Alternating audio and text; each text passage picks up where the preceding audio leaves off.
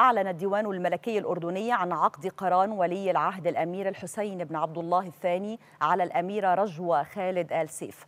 حضر عقد القران الذي جرى في قصر زهران العامر عددا من الأمراء والأميرات وعددا من القادة والمسؤولين من دول عدة. وأعلن الديوان الأردني عن صدور قرار ملكي بمنح زوجة الأمير الحسين لقب الأميرة بمناسبة عقد قرانهما.